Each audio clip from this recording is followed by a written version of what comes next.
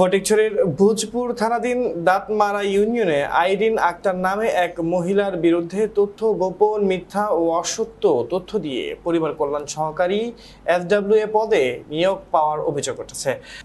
উক্ত পদের অন্য প্রার্থী ফাহমিদা আক্তার গত বারোই জুন তারিখে জেলা বরাবর পরিকল্পনা কার্যালয়ের উপপরিচালক বরাবর এই অভিযোগ করেন। এছাড়াও তিনি স্বাস্থ্য ও পরিবার কল্যাণ মন্ত্রণালয়ের মাননীয় মন্ত্রী, পরিবার পরিকল্পনা অধিদপ্তরের মহাপরিচালক, স্বাস্থ্য ও পরিবার কল্যাণ মন্ত্রণালয়ের সচিব, দুর্নীতি দমন কমিশনের চেয়ারম্যান ও চট্টগ্রাম কার্যালয়ের পরিচালক বরাবর অভিযোগের অনুলিপি পাঠিয়েছেন।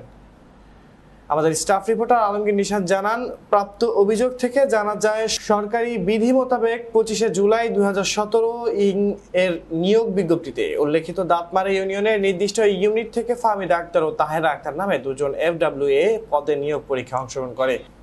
যথানিয়মে তারা দুজন পরীক্ষায় উত্তীর্ণ হয়, কিন্তু তাদের দুজনের কারও নিয়োগ না হয়ে আইরিন আক্তার নামে অন্য একজন ওই পদে নিয়োগ লাভ করে। পরে তার সকল তথ্য সংগ্রহ করে জানা যায় যে আইরিন আক্তার নিয়োগ বিজ্ঞপ্তিতে উল্লিখিত ইউনিটের স্থায়ী বাসিন্দা না হয়েও প্রকৃত তথ্য গোপন রেখে ভুল তথ্যের মাধ্যমে এবং আর্থিক লেনদেনের সুযোগ পেয়ে ওই পদে নিয়োগ পায়।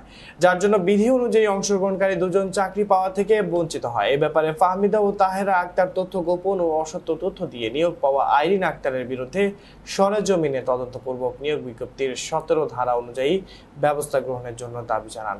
এদিকে এ ব্যাপারে জেলা পরিবার পরিকল্পনা কার্যালয়ের উপপরিচালক বলেন, সুনির্দিষ্টভাবে নাম উল্লেখ করে যদি অভিযোগ আসে, উপযুক্ত কর্তৃপক্ষকে অবহিত করা হবে।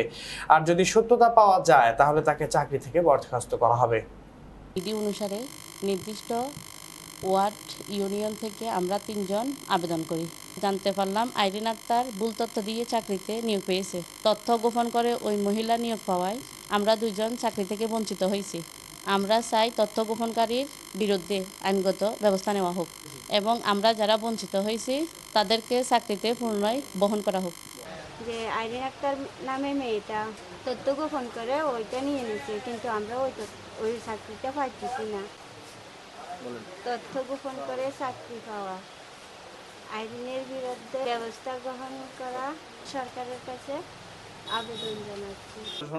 দপ্তরকে আমরা বিনীতভাবে অনুরোধ জানাচ্ছি এই ধরনের তথ্য গোপনকারী অনিয়ম দুর্নীতি করে এ, অবৈধ অর্থ লেনদেনের মাঝে যারা চাকরি লাভ করে তাদেরকে চাকরি থেকে বঞ্চিত করা হোক এবং যারা প্রকৃতপক্ষে চাকরি পাওয়ার যোগ্য তাদেরকে ওখানে চাকরিতে বহাল রাখা হোক।